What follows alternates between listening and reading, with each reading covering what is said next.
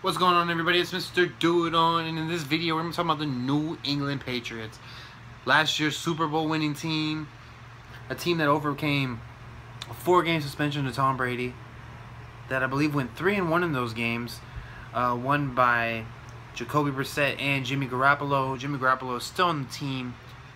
It's going to be interesting. Tom Brady has turned 40 years old and is still slinging the ball around interesting training camp for them so far as they've lost a couple of key players on offense, but it's a team that will survive.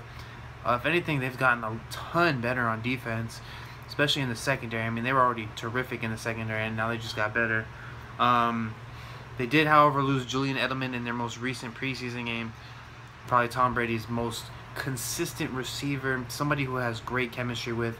So it'll be interesting to see what they do. I mean, I know they have Danny Amendola, but he hasn't really lived up to what they've they expected to expected from him when they signed him a couple years ago. Now looking at this team, um, they did bring in Brandin Cooks from the Saints. Um, they just released Kony Ealy, somebody that they had traded for actually, and now he's on the the Jets. So I mean, it's a team that has, is very interesting. Um, they've won the AFC East probably a, I don't know, a lot, a lot over the past 10 years. Um, I can think of only one time where they didn't win the AFC East, and that was when Tom Brady missed a full year uh, with the torn ACL against the Chiefs. So, I mean, looking at this team, some of their losses include LeGarrette Blount. I mean, he was terrific in New England. I, I feel like they replaced him with Mike Gillislee and Rex Burkhead.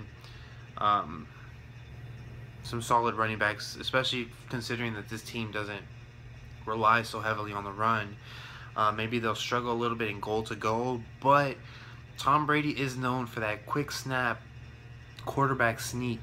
Um, so they don't really need a goal line back, I guess you could say. Um, they lost Martellus Bennett, but I mean, I think they'll be okay. They have Gronkowski. Obviously, Gronkowski hasn't played a full season a while. Uh, they lost Sebastian Vollmer. Trey Jackson, Jabaal Sheard, Chris Long, Barkevious Mingo, and Logan Ryan. Some solid contributors over the last couple years, but nothing too crazy as they did sign Stephon Gilmore from Buffalo. And if Bill Belichick can get his hands on a solid defensive player, turn them around if they had a bad season last year, that's something Bill Belichick's really good at. Now looking at this team overall, especially in the offensive side of the ball, Tom Brady is great at getting a lot of different guys involved. Um, I wouldn't. He's not as great as Drew Brees in my eyes at doing that, but he's still great in his own right. Obviously, one of the top five court, quarterbacks ever play this game, um, and he gets the ball out quick, so he doesn't really get hit that often. Um, now, if I'm in the AFC East, um, a team like the Bills, Dolphins, the Jets, those teams, even in the AFC in general, you know that everything's running through New England.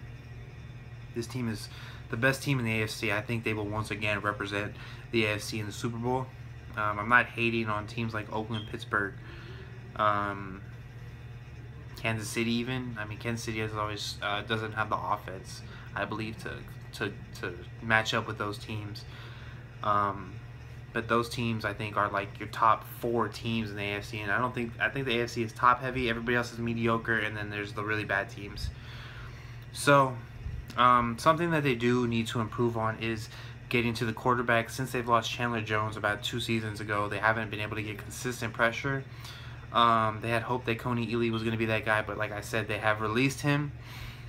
And all they did was trade back in the eight spots in the draft overall. Not too crazy. Um, they still have, I mean, they drafted Derek Rivers, I believe, out of, uh, I forget where he's from, but he was a solid Rushman in a deep class this past season. So I mean, there's a lot. There's a lot going on. Uh, their defensive coordinator is really good at, at sending random blitzes. I mean, he'll they'll find a way to get there. I mean, and then you have to score with New England too, so it puts a lot of pressure on another team's offense, obviously. Um, now this team, the schedule they play the um, looks like the AFC West. Uh, no, they don't. Oh, yeah, they play the AFC West and the NFC South, as well as the AFC East teams, and Pittsburgh and Houston. So those are the two place games, Pittsburgh and Houston. Um, overall, I don't. Uh, I don't see very many losses. I think everything's gonna run through New England still. You still have to be able to battle with Tom Brady, obviously, and he's not suspended. He's coming off a Super Bowl win, and he wants to get Super Bowl title number six. Something no other quarterback in NFL history has ever done. So I mean, that would be crazy. So looking at their schedule here, they start the season off on Thursday night. So they're the first game of the season against Kansas City. Uh, that's an interesting one. That's going to be a tough one. Um, Kansas City's a good team, but they're not New England good. So I'm going to give that one to New England. And New Orleans, that's a win for New England. Versus Houston, that's a win for New England. Now, if there's a team that can get pressure on Tom Brady, it is Houston. It could be Kansas City. Maybe Atlanta later down. Denver does a really good job of getting. I mean, Von Miller does a really good job of getting to Tom Brady. Um, but yeah, so jumping on down, Houston, that's a W for them. Carolina, that's a W. At Tampa Bay, that's a W. That's a Thursday game. That's a, that's that'll be an interesting game. Could be close. It's Jameis Winston's first look at Tom Brady, so this will be interesting. Um, obviously, he's not going head to head against him, but quarterback versus quarterback. That's what most. That's what a lot of analysts look at. Is that quarterback quarterback matchup how they go up against each other. At New York, that's a W. Versus Atlanta, we get the Super Bowl rematch on Sunday night.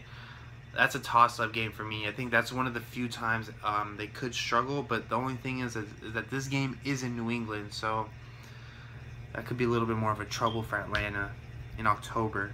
Versus the Chargers, it's a W. Then they hit their bye week at Denver on Sunday night. That's a W. At Oakland. Now that's an interesting one. That's another interesting one. I'm that one is a toss-up. Oakland is a solid team. They're a team that could be looking at a prime run at the AFC once Tom Brady officially retires. So that's what I think. Um, then you got Miami, that's a W. At Buffalo, that's a W. At Miami again, it's a W.